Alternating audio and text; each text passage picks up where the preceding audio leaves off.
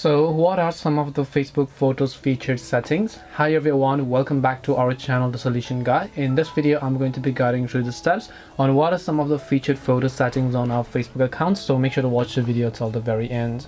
Now, first of all, if you open the Facebook app and then you just come to your profile page, here you have your featured section right under this. And this featured section is what like the Instagram highlights are, which you can show it to everybody.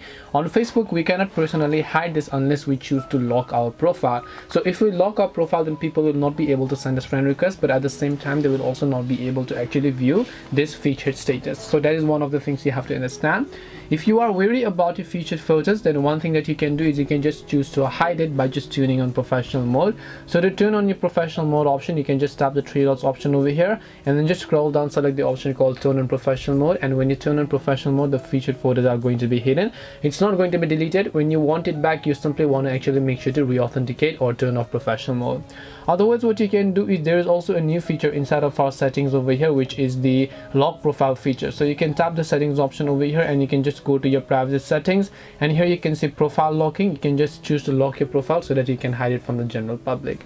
But to give you a basic context of the idea this is how you can customize your featured photo settings. Hope this video was very helpful to you guys and if it did help you make sure to leave a like and subscribe to our channel. If you have any questions then feel free to leave them down. Thank you for watching and see you in the next video